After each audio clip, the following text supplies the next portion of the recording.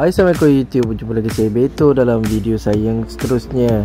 So pada korang yang masih baru lagi dalam channel ini Sila tekan button subscribe dekat bawah Dan tekan button loceng untuk notification.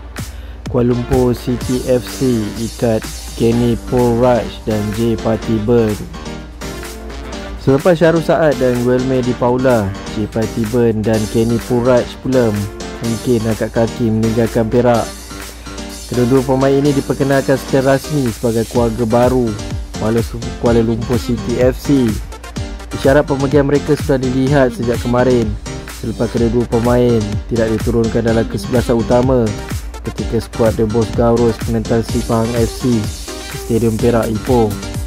Turut tiada dalam sejarah penjaga gol kedua Asri Ganis selain pertahanan Amirul Azan Adnan yang sedang menjalani pergantungan kerana mengutip tiga kad kuning Hakikat itu diakui semua regulator Perak Chong Yu Fat apabila berkata mereka sudah tidak bersama pasukan.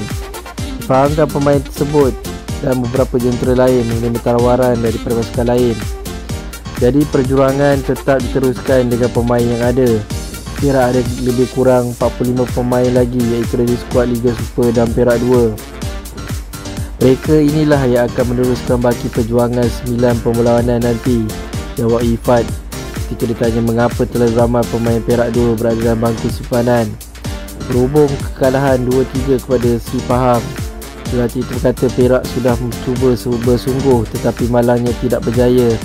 Sehubungan itu, Yifat akan menggunakan tempoh rehat panjang sehingga 8 Julai ini untuk membina semula pasukan dalam, dalam usaha mengutip mata sebanyak mungkin. So jika anda suka konten-konten dalam channel ini Please like button share dengan kawan-kawan korang. Dan jangan lupa tekan button subscribe dekat bawah. Percuma je guys dan gratis. Klik button loceng Klik all untuk mendapat full notification Dari Predator Shooting Channel. Dan berjumpa lagi di konten-konten video yang akan datang. Assalamualaikum. See you guys on the next video. Bye guys